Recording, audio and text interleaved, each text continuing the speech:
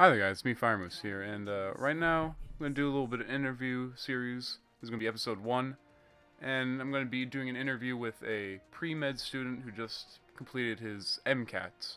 So uh, right now he's about uh, one, two, three, four, five uh, beers in, and uh, let's get this interview started. Okay, Daniel, I want to ask you some questions that most people have about pre-med students. So are you ready? Okay. I am ready. Cool. Okay. First question. How did you study for your MCATs? So for the MCAT, since there's only four sections, and they're really, really lots of there's lots of shit in them, as you would imagine.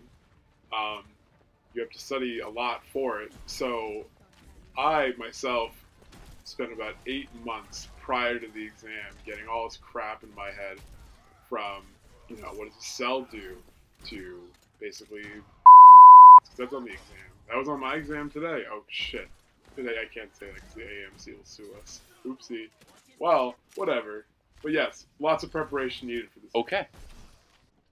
So you said you studied for a, a long time Yeah, in in uh, preparation for this test. Uh, what materials did you use to study? So, you know, like, those books that they give out are just not cool because there's so much stuff in them, so many pages, it's like really fucking annoying. So, I personally studied all of Mercy's voice lines and how her basically her rotation during a comp match.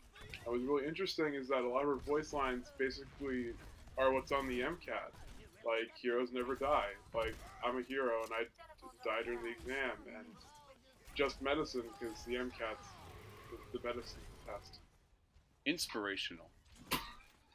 I actually have one of the quotes he used for studying right here, so uh, take a listen. The enemy teleporter is here! So, Daniel, how does this quote in particular help you in the medical field? So, when insurance companies come to take your money away, um, they're so advanced that they use teleporters and they teleport into hospitals and steal money from doctors. And it's terrible. So, Mercy's quote right there, while it is actually a command in the game to notify of Symmetra's portals, Yep. you know, it's actually a real life term that we have to use in the medical field. We have to know when these insurance company people are in our hospital.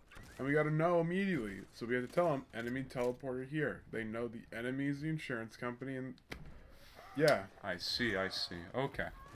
Okay, this next question, I, I don't know why, is a most asked question for medical students, but uh, what's blue and smells like red paint? Um, oxycodone. And the reason is is that the ketone groups involved in oxycodone, which are really interesting. Let me pull up a structure right now that I'm gonna slap on the screen right now. See it?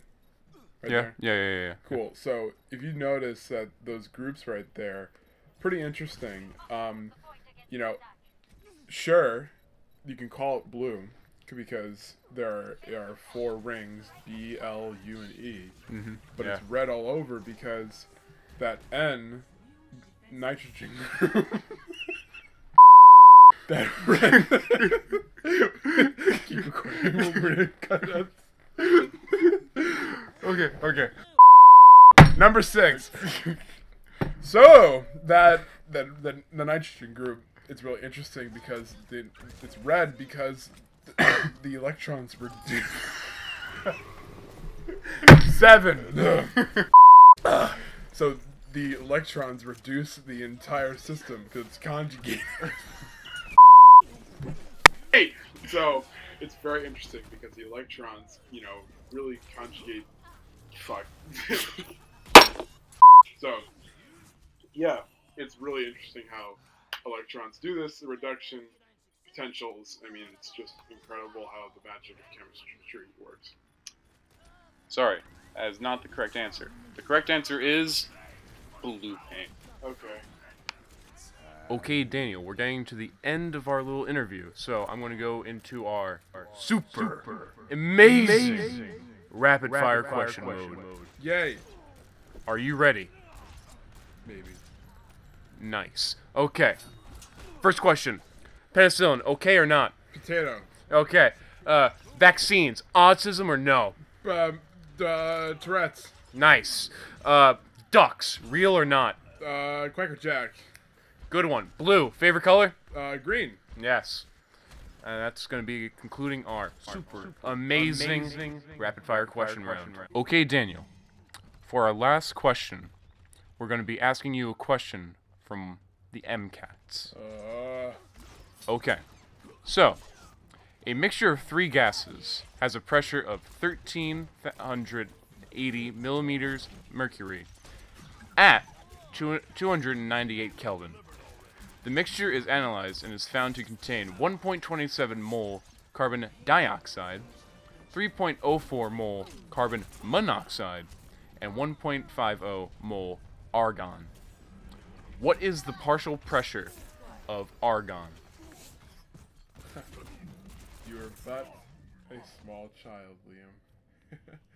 the answer is obviously 420 millimeters of high. high Oh, okay. We're gonna end the interview right now. Uh, hope you guys enjoyed this interview. I know I didn't, but if you guys did, like this video, uh, subscribe if you want more, comment if you want more, and uh, yeah, thank you, Daniel, for doing this interview with me. Yo. Okay. Uh, and uh, if you guys hope you guys enjoyed this video, and I'll see you in the next one. Bye.